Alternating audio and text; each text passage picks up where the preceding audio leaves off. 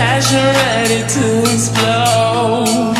What goes on between us, no one has to know. This is a private show.